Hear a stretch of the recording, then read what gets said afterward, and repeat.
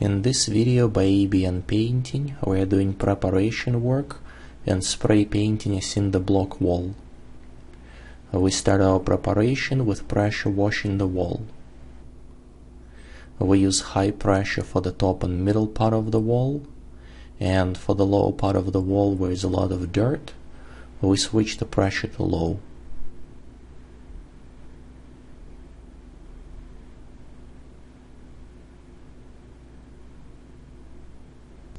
After the wall is dry, we do masking.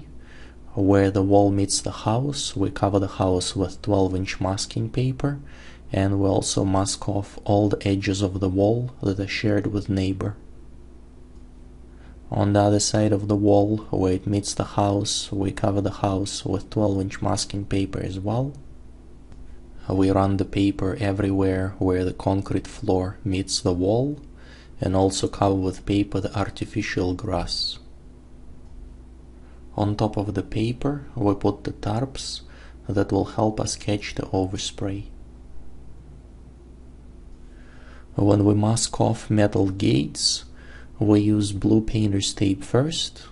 It's for delicate surfaces and it has very little adhesive, so when we remove it after we're done with spray painting, it will not leave any residual glue and also it will minimize the chances of lifting off existing paint from the gate.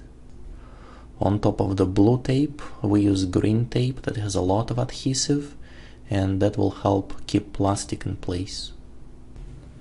We start spray painting by applying Loxon masonry primer to the part of the wall that's never been painted before so we can avoid a lot of overspray while spray painting a pony wall. Uh, we set the pressure on the spray to the medium setting. Once we're done with priming we change the primer for the paint and start spray painting the rest of the wall.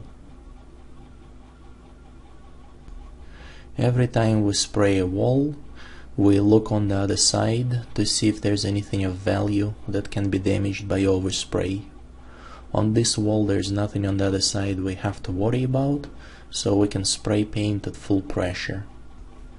When we apply the first coat of paint, we do it from side to side. And for the second coat, we apply it in different direction, going from top to bottom. Uh, that helps create an even coverage and eliminate any lines or streaks.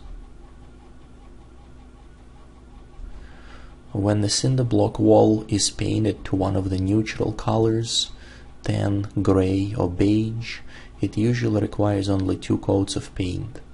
White color is one of the hardest colors to cover the cinder block wall with and it requires multiple coats. For this wall we applied a total of four coats of paint. And this is the look of the wall before we started and after we finished.